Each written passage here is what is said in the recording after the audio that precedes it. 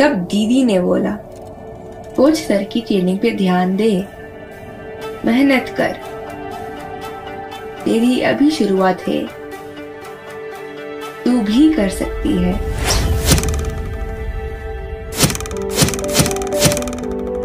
तो मैंने मेहनत की।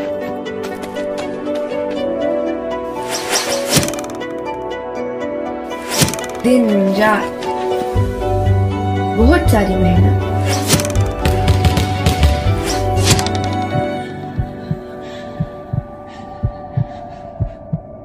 पर मेरी कहानी यहाँ शुरू नहीं होती। मैं कश्मीर की एक छोटी से गाँव की हूँ।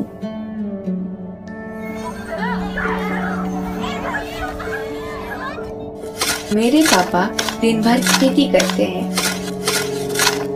और मम्मा बकरियाँ संभालती है।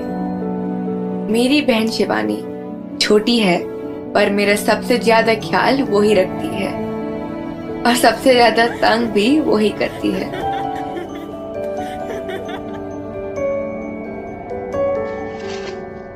जब मैं तैयार होती हूँ ना, माँ बोलती है कि मैं सबसे सुंदर हूँ।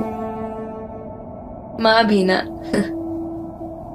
पर हूँ ना मैं सुंदर। बचपन से ही मुझे स्कूल बहुत पसंद था। पहले लगता था कि मैं नहीं जा पाऊँगी। क्योंकि मैं अलग हूँ ना। लेकिन किसी ने भी मुझे अलग होने का एहसास नहीं दिलाया।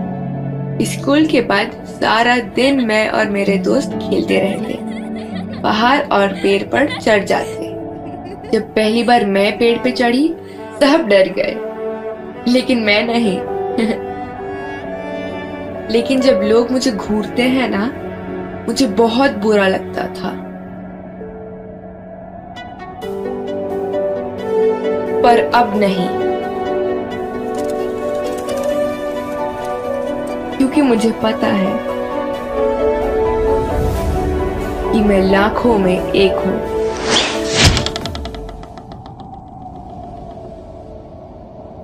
किसी में कोई कमी नहीं होती।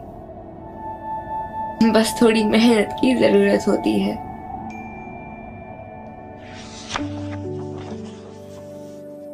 मैंने इन कहानियों से बहुत कुछ सीखा है।